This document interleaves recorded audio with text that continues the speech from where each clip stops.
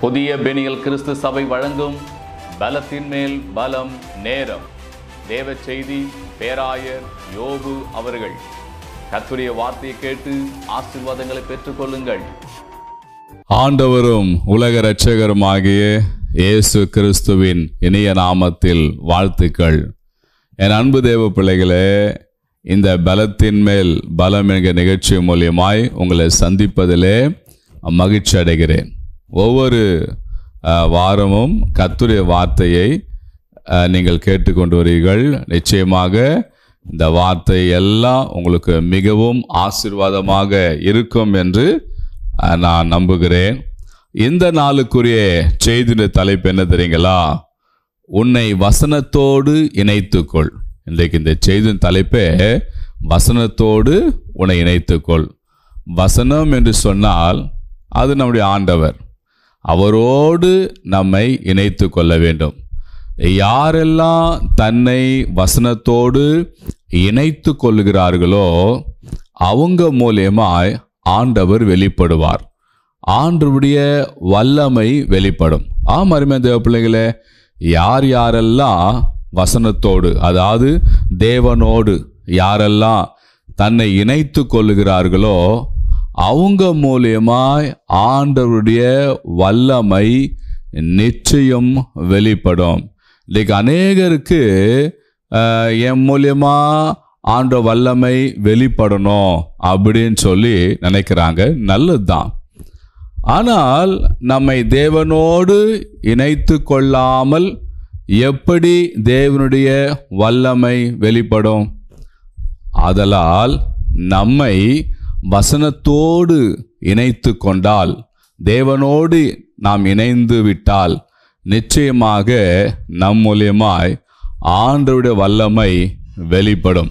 கத்த நாமத்துக்கு மகிமுண்டாவதாக அதன் அன்பு தேவ பிள்ளைகளே நீங்கள் உங்களை ஆண்டவரோடு இணைத்து கொள்ளுங்க அப்படி இணைத்து கொள்ளும்போது தான் ஆண்டோட வல்லமை வெளிப்படும். ஒரு பழமொழி ஒன்று சொல்லுவாங்க. பூவோடு சேர்ந்த நாரும் மணக்கும் என்று சொல்லி. பூவு கட்டுற நாரில் ஒரு ஸ்மெல்லும் கிடையாது ஒரு வாசனையும் கிடையாது.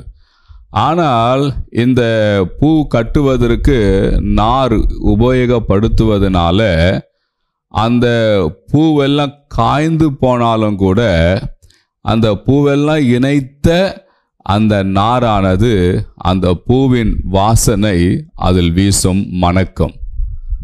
ஒரு பூவே தன் நாரோடு இணைத்து கொள்ளும்போது அல்லது நாறு பூவோடு இணைத்து கொள்ளும்போது அந்த நார் பூவோட வாசனை பட்டு அது மணக்குது வாசனை வீசுது.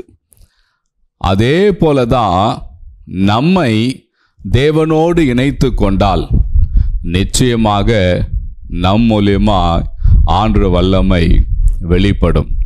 என் அன்பு தேவ பிள்ளைகளே நீங்க தேவனோடு உங்களை இணைத்து கொள்ளுங்க. அப்போது உங்க மூலியமாய் ஆண்டுடைய வல்லமை வெளிப்படும். இன்னும் சொல்ல போனா ஆண்டவர் உங்க மூலியமா வெளிப்படுவார். இன்னும் கூட சொல்ல போனா உங்க மூலியமா இயேசு அநேகருக்கு தெரிவார். கத்த நாமத்துக்கு ஸ்தோத்திரம். காரணம் என்னன்னு சொல்லி பார்த்தீங்கன்னா நீங்க ஆண்டவரோடு உங்களை இணைத்து கொண்டபடினாலே.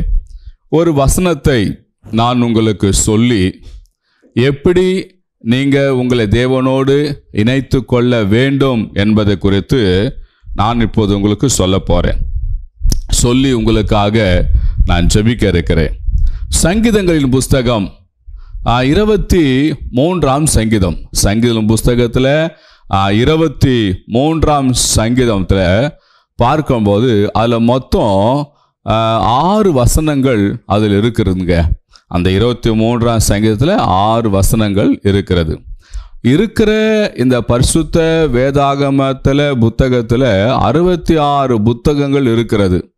இந்த அறுபத்தி ஆறு புத்தகத்திலேயே மிகவும் சிறப்பு வாய்ந்த ஒரு புத்தகம் என்று சொல்லி பார்த்தா அது சங்கீதங்களின் புஸ்தகம் மாத்திரம்தாங்க.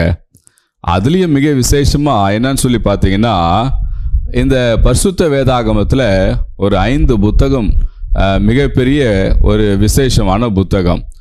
யோபின் சரித்திர புத்தகம் சங்கீதங்கள் புஸ்தகம் நீதிமொழிகள் புஸ்தகம் பிரசங்கின் புஸ்தகம் உன்னத பாட்டு புஸ்தகம் இந்த ஐந்து புஸ்தகத்தை குறித்து வேத வல்லுநர் சொல்கிறாங்க இது செய்யுள் வடிவில் அமைக்கப்பட்ட ஒரு வேத பகுதி. அதாவது கவிதை நடையில் எழுதப்பட்ட ஒரு வேத பகுதி.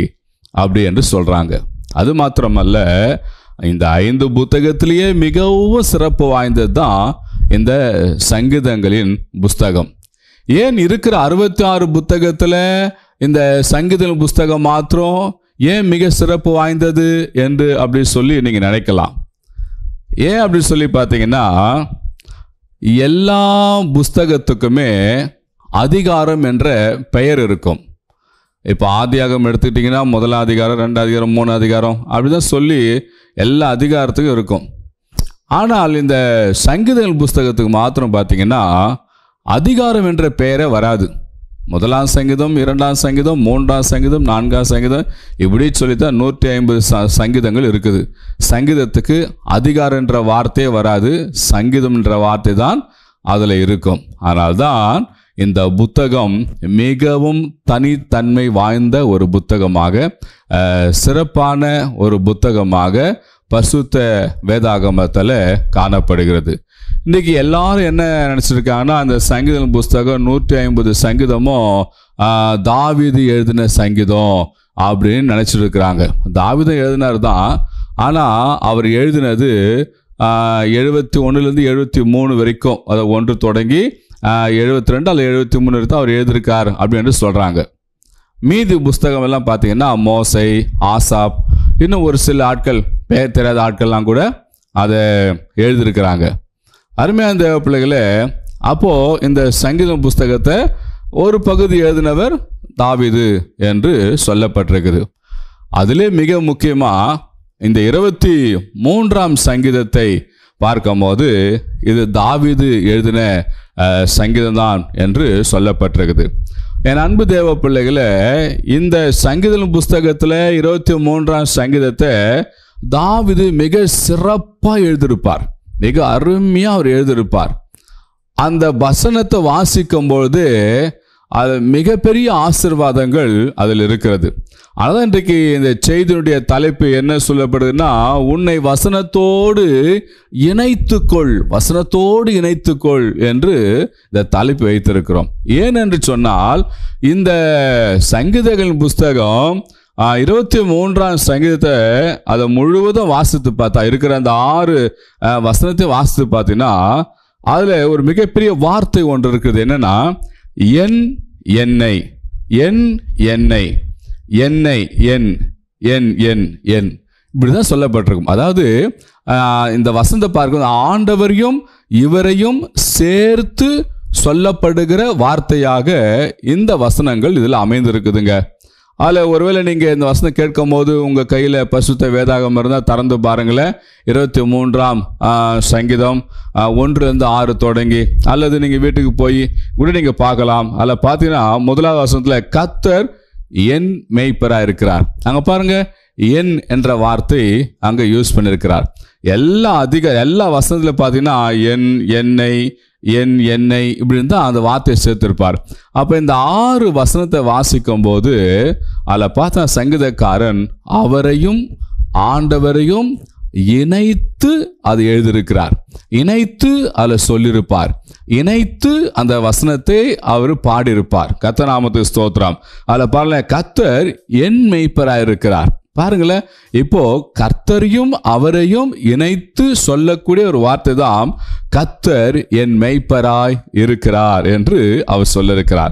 என் அன்பு தேவ அடுத்தது இரண்டாவது பாருங்க அவர் என்னை அப்படின்ற வார்த்தை யூஸ் பண்ணிக்கிறார். அவர் என்னை புல்லுள்ள இடங்களில் மைத்து அமர்ந்த தண்ணீராண்டியிலே என்னை கொண்டு போய் விடுகிறார்.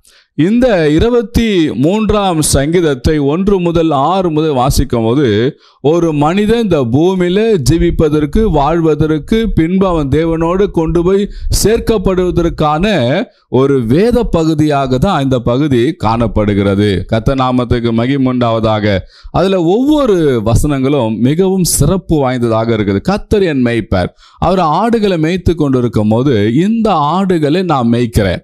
இந்த ஆடுகளுக்கு என்னெல்லாம் தேவையோ அதெல்லாம் நான் செய்கிறேன். இந்த ஆடுகளுக்கு நான் மேய்ப்பேன். இப்போ என் ஆண்டவருக்கு நான் ஆடு அவர்தான் என் மெய்ப்பர். அவர் என்னை என்னெல்லாம் செய்வரா? நான் இந்த ஆடுகளை புல்லுள்ள இடங்களிலே நான் மேய்க்கிறேன். ஏன் புல்லுள்ள இடங்கள் மேய்க்கிறேன்? அதுங்களுக்கு வேண்டிய நல்ல ஆகாரம் தரக்கூடியது இந்த பில் தான் அந்த பில் சாப்பிடும் போது தான் நல்ல பால்லாம் கறக்கும். ஆடு நல்லா புஷ்டி ஆகும் ரெண்டாவது ஆடுகள் என்பது நம்ம தமிழ் மொழி சொல்லுவாங்க கால்நடை. அப்படி ஆடு மாடு இருக்க மற்ற மிருகங்கள்லாம் பார்க்கும்போது கால்நடை. இதெல்லாம் ஒரு நாளைக்கு பன்னெண்டு மணி நேரமாவது அது நடந்து கொண்டே தான் இருக்கணும் அது. அதனால தான் அது பேர் கால்நடை. அது நடக்காமல் இருந்துச்சுன்னா அது மறித்துவிடும் கத்த நாமத்துக்கு ஸ்தோத்திரம். எனக்கு தெரிந்த ஒருவர் ஆடு வாங்கி வளர்த்தார். அந்த ஆடு அவர் மேய்க்காம அது கட்டி போட்டே வைத்திருந்தார். பின்பு அது நோவிப்பட்டு அது மறித்து விட்டது. அப்போது நான் சொன்னேன் இது பேர் கால்நடை இதுங்க நடமாடிட்டே இருக்கணும். இதை கட்டி போட வைக்கக்கூடாது. கட்டி போட்டால் அதுக்கு நோய் வந்துடும் கவலை வச்சிடும் இது செத்துரும் அப்படின்னு நான் சொன்னேன். பாருங்கள் அருமையாக தேவப்பிள்ளையில இந்த சங்கீதக்காரன் இவர் இருக்கிற இந்த ஆடெல்லாம் மிக சிறப்பாக அவர் மேய்த்தாருங்க. அதெல்லாம் சொல்லியிருக்கார். கத்தர் என் மெய்ப்பர். நான் தாய்ச்சடையேன் அடையேன் அப்படி என்று சொல்லியிருக்கிறார். அடுத்தது அவர் என்னை புல்லுள்ள இடங்கள் மேய்த்து அமர்ந்த தண்ணீராண்டிலே என்னை கொண்டு போய் என்னை விடுகிறார். அடுத்தது அவர் என் ஆத்துமாவை தேற்றி தம்முடைய நாமத்தை நிமித்தம் என்னை நீதியின் பாதையில் என்னை நடத்துகிறார். அடுத்தது நான் மரண இருளின் பள்ளத்தாக்கிலே நடந்தாலும் பொல்லாப்புக்கு பயப்படேன். தேவரீர் என்னோடு கூட இருக்கிறீர். உமது கோலும் உமது தடியும் என்னை தேற்றும். அடுத்தது ஐந்தாவது என் சத்துருகளுக்கு முன்பாக நீர் எனக்கு ஒரு பந்தி ஆயத்தப்படுத்தி என் தலை எண்ணெயால் அபிஷேகம் பண்ணுகிறீர். என் பாத்திரம் நிரம்பி வழிகிறது. கடைசியாக சொல்லி முடிக்கிறார் என் ஜீவனுள்ள நாளெல்லாம் நன்மையும் கிருவையும் என்னை தொடரும். நான் கத்துடைய வீட்டில் நீடித்த நாட்களாக நிலைத்திருப்பேன். பாருங்களேன் இந்த பூமியில் நான் வாழும்போது அவர் எனக்கு மெய்ப்பராயிருந்து எனக்கு என்னை புல்லில் இடங்கள் மேய்த்து எனக்கு நல்ல ஆகாரம் கொடுத்து என்னை அமர்ந்த தனியாரில் கொண்டு போய் சேர்த்து என்னை பாதுகாத்து எனக்கு எதிரே வருகிற சத்துருக்கள் மத்தியிலே என் தலையை அபிஷேகம் பண்ணி என் பாத்திரம் நிரம்பி செய்கிறார். அது மாத்திரமல்ல நன்மையும் கிருபையனை தொடர செய்கிறார். என் ஜீவனுள்ள நாட்கள் எல்லாம் நன்மையும் கிருபையனை தொடர என்று சொல்லிட்டு இப்போ சொல்கிறார் கடைசியாக நான் கத்தருடைய வீட்டில் நீடித்த நாட்களாய் நிலைத்திருப்பேன். எனக்கென்று ஒரு வீடு இருக்கிறது. அது என்ன வீடுனா கத்தருடைய வீடு. அந்த வீட்டுக்கு கத்தர் என்னை கொண்டு போவார். அவருடைய வீட்டில் நான் நீடித்த நாட்களாய் நான் நிலைத்திருப்பேன் என்று அவர் விசுவாசத்தோடு விசுவாசத்தோடு சொல்லுகிறார். பூமியில் இருக்கும்போதே காணாத ஒன்றை குறித்து சொல்லுகிறார். நான் கத்துடைய வீட்டில் நீடித்த நாட்களாய் நான் நிலைத்திருப்பேன் என்று சொல்லி. இந்த வார்த்தை கேட்டுக்கொண்டு அன்பு தேவ பிள்ளைகளே இந்த தாவிது பாருங்க தன்னை தேவனோடு இணைத்து இந்த சங்கீதத்தை எழுதியிருக்கிறார். நான் வேறு தேவன் வேறு அல்ல. நானும் தேவனும் ஒன்றா இருக்கிறேன் என்று சொல்லி அவர் சொல்றாரு கத்தருடைய வீட்டிலே நான் நிலைத்திருப்பேன். நித்திய நித்தியமா நாங்கள் இருப்பேன். நானும் கத்தரும் ஒன்றா இருக்கிறோம். நாங்க பிரிவதே இல்லை என்று சொல்லி இந்த சங்கீதத்தை அவர் எழுதியிருக்கிறார். இந்த வார்த்தை கேட்டுக்கொண்டிருக்க என் அன்பு தேவ பிள்ளைகளே உங்களுடைய வாழ்க்கையில நீங்க உங்களை தேவனோடு இணைத்து கொள்ளுங்க. இந்த பூமியில வேற யாரோடு இணைத்து கொண்டு வாழ்ந்தாலும் அது ஒரு காலம் ஒரு நேரம் வரும்போது ஒரு ஏமாற்றத்தை கொடுத்துவிடும். ஆனால் இந்த பூமியில் வாழும்போது நம்மை தேவனுக்கு அர்ப்பணித்து தேவனோடு இணைந்து நம்ம வாழ்வோமானால் கத்த நமக்கு நல்ல மெய்ப்பராக இருப்பார். அவர் நம்ம புல்லுள்ள இடங்களில் மெய்ப்பார். அவர் நம்ம அமர்ந்த தனிநடியில் கொண்டு போய் விடுவார். அது மாத்திரம் நம்முடைய ஆத்மாவை தேற்றுவார்.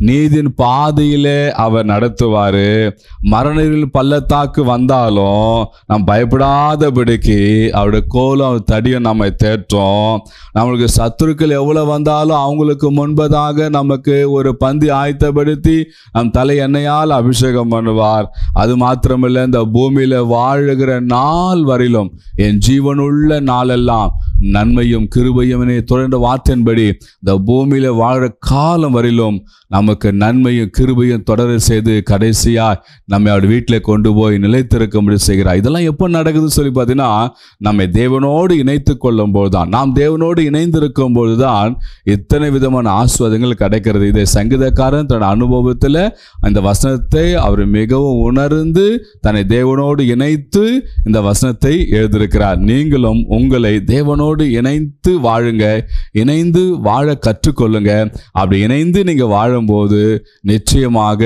கத்துடைய வீட்டில் நீடித்த நாட்களா நாம் எல்லாரும் நிலைத்திருக்கலாம் நீங்களும் நிலைத்திருக்கலாம். நாம் ஜபிப்போமா? உங்களை ஒப்பு கொடுங்களேன் ஏசப்பா உமக்கு ஸ்தோத்திரம். கத்தாவே இந்த கால வேலைக்காக உமக்கு நன்றி செலுத்துகிறேன். ஏசப்பா இந்த நாளில் வார்த்தை கேட்டுக்கொண்டுகிறேன். உடைய பிள்ளைகளுக்காக ஜெபிக்கிறேன் சுவாமி. கத்தாவே இந்த வேலை வார்த்தை கேட்டு என்னை நான் தேவனோடு இணைத்து கொள்வேன் நான் என்னை தேவனோடு இணைத்து கொண்டு நான் வாழ்வேன் என்று சொல்லுகிற எசப்பா பிள்ளைகளுக்கு இந்த சங்கீத இருபத்தி மூன்று சொல்லப்பட்டிருக்க இந்த ஆறு ஆசீர்வாதங்களும் நீங்க தந்து பிள்ளைகளை பாதுகாத்து கொள்ளுங்க. இவங்க வாழ்க்கையில உண்டாயிருக்கிற எல்லா கண்ணீரெல்லாம் துடைங்கப்பா. எல்லா கவலையெல்லாம் அகற்றுங்கப்பா. இவங்க எதிர்பார்த்து கொண்டிருக்க நன்மைகள் ஆசீர்வாதங்களை எல்லாவற்றும் இந்த பிள்ளைகளுக்கு தந்துடலுங்க உம்முடைய கரத்தில் ஒப்பு கொடுக்கிறோம். உயிர் தெழுந்த இயேசு கிறிஸ்து நாமத்தில் ஜெபிக்கிறேன் ஜீவனுள்ள நல்ல பிதாவே. ஆமேன் ஆமேன் ஆமேன். என் அன்பு தேவ பிள்ளைங்களே வார்த்தை கேட்டீங்க. இந்த வார்த்தை மூலயமா கத்தர் நிச்சயமாக உங்களோடு பேசியிருப்பார். இந்த வார்த்தை உங்களை தொட்டு இருக்குமானால் இந்த வார்த்தையை நீங்கள் உங்கள் தெரிந்த நண்பர்களுக்கும் உற்றா உறவினர் எல்லாருக்கும் இதை நீங்கள் ஷேர் பண்ணுங்கள் இது ஒரு ஊழியமாக நினச்சி செய்யுங்க. இதை செய்துட்டு ஏசாப்பாவுக்கு நன்றி சொல்லுங்கள் ஆண்டவரே இந்த ஊழியத்தை நான் செய்திருக்கிறேன். என்னை ஆசிர்வதிங்கன்னு சொல்லுங்கள் நிச்சயமாக உங்களை ஆஸ்வதிப்பாரு உங்களுக்காக ஜெபிக்க வேண்டும் சொன்னால் திரையில் காட்டப்படுகிற எண்ணுக்கு தொடர்பு கொள்ளுங்கள் நாங்கள் நிச்சயமாக உங்களுக்காக ஜெபம் பண்ணுவோம். அது மாத்திரமல்ல தொடர்ந்து ஜெபிங்க. இந்த ஊழியம் தொடர்ந்து நடைபெற கத்தர் கிருபை செய்யணும். முடிந்தால் இந்த ஊழியத்துக்காக ஜபிங்க. உங்களால் முடிந்தால் தாங்குங்க உதவி செய்யுங்க. கத்தர் உங்களை ஆஸ்வதிப்பார் காட் பிளஸ் யூ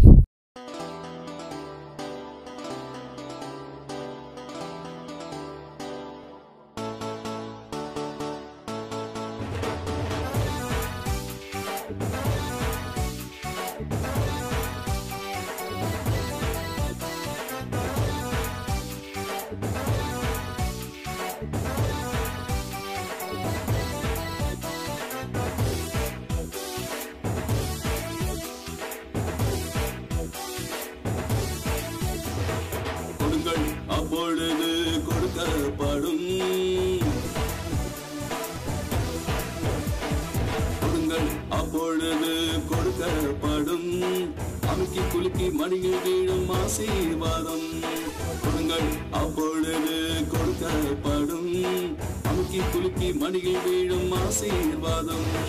சூழ்நிலை மாறும் வறுமை மாறும் கஷ்டம் மாறும் துன்பம் மாறும் சூழ்நிலை மாறும்.